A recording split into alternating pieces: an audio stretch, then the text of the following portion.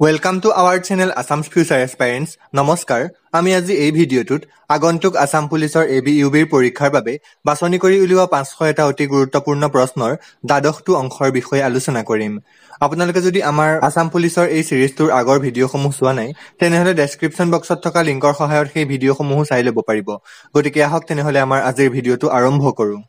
Question number two hundred seventy six the Lachit Borphukan's Maidam is located in Lachit বৰফুকনৰ মৈদাম ক'ত অৱস্থিত? Option কেইটাৰ ভিতৰত ইয়াৰ শুদ্ধ আনচাৰটো হ'ব বি যোৰহাট। লাচিত বৰফুকনৰ এই মৈদামটো যোৰহাট জিলাৰ মেলেং হুলুঙা পাৰৰ গোহাঁই গাঁৱত অৱস্থিত। এইটো উদয়াদিত্য সিংহই নিৰ্মাণ কৰিছিল। Next question number two hundred seventy seven which state is not covered under the jurisdiction of Guwahati high court কোনখন ৰাজ্য গুৱাহাটী উচ্চ ন্যায়ালয়ৰ অধিকাৰ ক্ষেত্ৰত অন্তৰ্ভুক্ত নহয়? অপশ্যন কেইটাৰ ভিতৰত ইয়াৰ শুদ্ধ আনচাৰটো হ'ব চি ত্ৰিপুৰা। গুৱাহাটী উচ্চ ন্যায়ালয়ৰ অধিকাৰ ক্ষেত্ৰত অসম নাগালেণ্ড মিজোৰাম আৰু অৰুণাচল প্ৰদেশ এই চাৰিখন ৰাজ্য অন্তৰ্ভুক্ত হয়। ইয়াতে নাগালেণ্ডৰ কহিমা বেঞ্চটো স্থাপিত হৈছিল ঊনৈছশ বাসত্তৰ চনৰ এক ডিচেম্বৰ তাৰিখে আৰু মিজোৰামৰ আইজল বেঞ্চটো স্থাপিত হৈছিল ঊনৈছশ নব্বৈ চনৰ পাঁচ জুলাই তাৰিখে আৰু অৰুণাচল প্ৰদেশৰ ইটানগৰ বেঞ্চটো স্থাপিত হৈছিল দুহেজাৰ চনৰ বাৰ আগষ্ট তাৰিখে। Next question number two hundred seventy eight the battle of Mahgarh was fought in the year Mahgarh ৰণ কেতিয়া সংঘটিত হৈছিল? অপশ্যন কেইটাৰ ভিতৰত ইয়াৰ শুদ্ধ আনচাৰটো হ'ব A eighteen twenty two Mahgarh ৰণ মান আৰু অসমীয়া সৈন্যসকলৰ মাজত ওঠৰশ বাইছ চনৰ ঊনৈছ এপ্ৰিল তাৰিখে মহগড় নামৰ ঠাইত সংঘটিত হৈছিল। আৰু এই মহগড় ৰণত অসমীয়া সৈন্যসকলক নেতৃত্ব দিছিল চন্দ্ৰকান্ত সিংহই। Next question number two hundred seventy nine in which of the following year lower Assam was permanently annexed by the British কিমান চনত নামনি অসম স্থায়ীভাৱে ইংৰাজৰ অধীনলৈ গৈছিল? অপশ্যন কেইটাৰ ভিতৰত ইয়াৰ শুদ্ধ আনচাৰটো হ'ব। B eighteen twenty eight A D ওঠৰশ আঠাইছ চনৰ সাত মাৰ্চত নামনি অসম স্থায়ীভাৱে ইংৰাজৰ সাম্ৰাজ্যৰ অন্তৰ্ভুক্ত হয় আৰু ওঠৰশ আঠত্ৰিছ চনৰ ওঠৰ ছেপ্টেম্বৰত উজনি অসমখন ইংৰাজৰ শাসনলৈ আহে।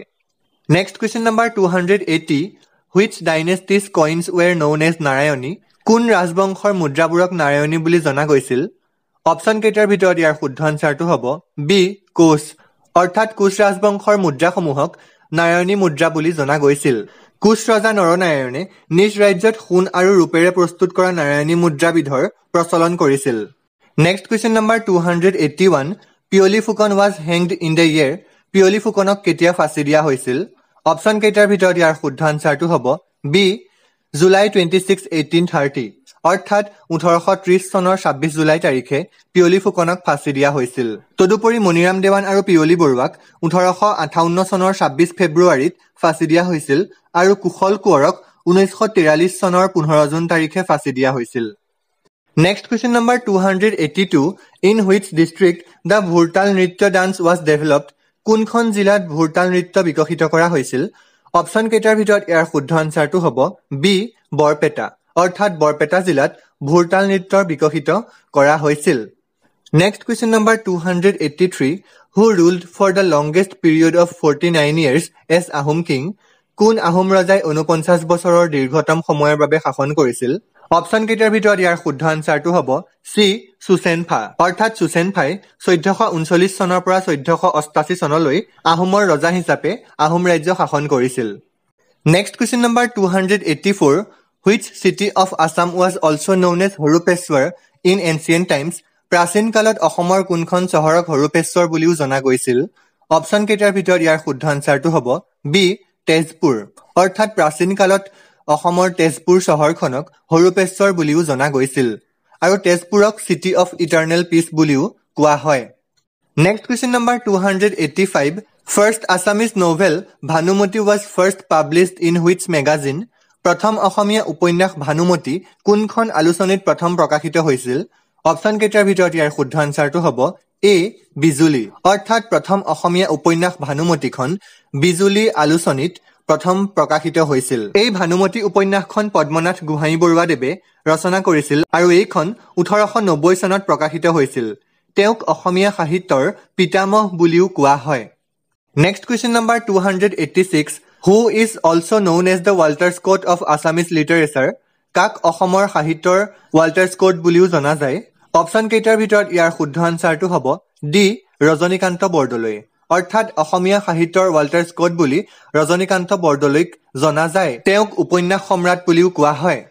Next question number two hundred eighty seven which one is the first newspaper published in Guwahati গুৱাহাটীত প্ৰকাশিত প্ৰথম বাতৰি কাকতখনৰ নাম কি? অপশ্যন কেইটাৰ ভিতৰত ইয়াৰ শুদ্ধ আনচাৰটো হ'ব এ আছাম মিহিৰ। ওঠৰশ বাসত্তৰ চনত গুৱাহাটীত চিদানন্দ প্ৰেছ নামৰ প্ৰথমটো প্ৰেছ পাণবজাৰত স্থাপিত হৈছিল আৰু এই প্ৰেছটোৱেই গুৱাহাটীৰ প্ৰথমখন বাতৰি কাকত আছাম মিহিৰ প্ৰকাশ কৰিছিল। Next question number two hundred eighty eight who was the founder of Asom Jatiya Mahasabha Asom জাতীয় মহাসভাৰ প্ৰতিষ্ঠাপক কোন আছিল? অপশ্যন কেইটাৰ ভিতৰত ইয়াৰ শুদ্ধ আনচাৰটো হ'ব ডি অম্বিকাগিৰি ৰায়চৌধুৰী। অৰ্থাৎ অম্বিকাগিৰি ৰায়চৌধুৰীয়ে অসম জাতীয় মহাসভা প্ৰতিষ্ঠা কৰিছিল। তদুপৰি তেওঁ অসম সংৰক্ষণী সভাৰো প্ৰতিষ্ঠা কৰিছিল। Next question number two hundred eighty nine which of the following king of the Barman dynasty perform Ashwamedha yajna? Barman ৰাজবংশৰ নিম্নলিখিত কোনজন ৰজাই অশ্বমেধ যজ্ঞ কৰিছিল?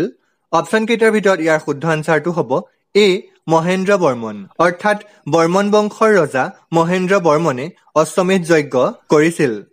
Next question number two hundred ninety who wrote Tungkhungia Buranji Tungkhungia বুৰঞ্জীৰ লিখক কোন? Option কেইটাৰ ভিতৰত ইয়াৰ শুদ্ধ আনচাৰটো হ'ব বি শ্ৰীনাথ দুৱৰা বৰবৰুৱা অৰ্থাৎ টুংখুঙীয়া বুৰঞ্জী শ্ৰীনাথ দুৱৰা বৰবৰুৱাদেৱে ৰচনা কৰিছিল। Next question number two hundred ninety one when was the first rebellion in Assam against the British rule held ব্ৰিটিছৰ বিৰুদ্ধে অসমত প্ৰথমটো বিদ্ৰোহ কেতিয়া সংঘটিত হৈছিল?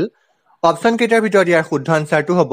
বি এইটিন টুৱেণ্টি এইট অৰ্থাৎ ব্ৰিটিছৰ বিৰুদ্ধে অসমত প্ৰথমটো বিদ্ৰোহ ওঠৰশ আঠাইছ চনত সংঘটিত হৈছিল। আৰু ব্ৰিটিছৰ বিৰুদ্ধে যুঁজ দিয়া প্ৰথমজন অসমীয়া আছিল Gomdhar Konwar.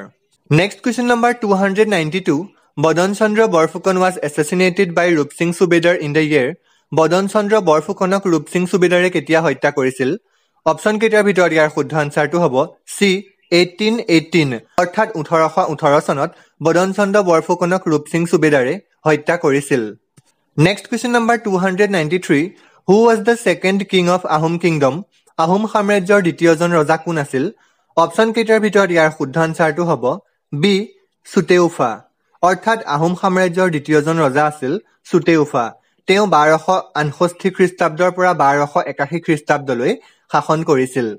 Next question number two hundred ninety four which one of the following structure is the oldest amphitheatre in Asia which was build by Ahom king Ahom ৰজাৰ দ্বাৰা নিৰ্মিত কোনটো গাঁথনি এছিয়াৰ আটাইতকৈ পুৰণি এম্পি থিয়েটাৰ অপশ্যন কেইটাৰ ভিতৰত ইয়াৰ শুদ্ধ আনচাৰটো হ'ব এ ৰংঘৰ। ৰুদ্ৰসিংহদেৱে ৰংঘৰটো বাঁহ আৰু কাঠেৰে নিৰ্মাণ কৰিছিল আৰু প্ৰমত্ত সিংহদেৱে ইটাৰে সাজি ৰংঘৰটো পুনৰ নিৰ্মাণ কৰিছিল। তদুপৰি প্ৰমত্ত সিংহদেৱে গড়গাঁৱৰ সিংহদুৱাৰ গুৱাহাটীৰ শুক্ৰেশ্বৰ আৰু ৰুদ্ৰেশ্বৰ মন্দিৰো নিৰ্মাণ কৰিছিল। Next question number two hundred ninety five the Singari Ghar Utha traditional ceremony was first started by which Ahom king কোনজন আহোম ৰজাৰ দিনত শিঙৰি ঘৰত উঠাৰ পৰম্পৰাৰ প্ৰচলন কৰা হৈছিল? অপশ্যন কেইটাৰ ভিতৰত ইয়াৰ শুদ্ধ আনচাৰটো হ'ব। চি বামুণী কোঁৱৰ। অৰ্থাৎ চুডাংফা বা বামুণী কোঁৱৰৰ দিনত প্ৰথমতে শিঙৰি ঘৰত উঠাৰ পৰম্পৰাৰ প্ৰচলন কৰা হৈছিল। Next question number two hundred ninety six Chakori Pheti Buranji was written by Chakori Pheti বুৰঞ্জীৰ লিখক কোন? অপশ্যন কেইটাৰ ভিতৰত ইয়াৰ শুদ্ধ আনচাৰটো হ'ব চি নুমলী বৰগোহাঁই। অৰ্থাৎ নুমলী বৰগোহাঁইদেৱে চকৰি ফেটি বুৰঞ্জীৰ ৰচনা কৰিছিল। Next question number two hundred ninety seven Jayanta Talukdar has won individual gold medal in the archery world cup in the year Jayanta তালুকদাৰে কিমান চনত আৰ্চাৰীৰ বিশ্বকাপত ব্যক্তিগতভাৱে স্বৰ্ণ পদক পাইছিল? অপশ্যন কেইটাৰ ভিতৰত ইয়াৰ শুদ্ধ আনচাৰটো হ'ব। চি টু থাউজেণ্ড ছিক্স অৰ্থাৎ অৰ্জুন বঁটা বিজয়ী জয়ন্ত তালুকদাৰে দুহেজাৰ ছয় চনত মেক্সিকোত অনুষ্ঠিত হোৱা আৰ্চাৰীৰ বিশ্বকাপত স্বৰ্ণ পদক পাবলৈ সক্ষম হৈছিল। Next question number two hundred ninety eight the proposed India's longest river bridge from Phulbari Meghalaya will connect which district of Assam directly Phulbari মেঘালয়ৰ পৰা প্ৰস্তাৱিত ভাৰতৰ আটাইতকৈ দীঘল নদী দলংখনে অসমৰ কোনখন জিলাক সংযোগ কৰিব? অপশ্যন কেইটাৰ ভিতৰত ইয়াৰ শুদ্ধ আনচাৰটো হ'ব বি ধুবুৰী।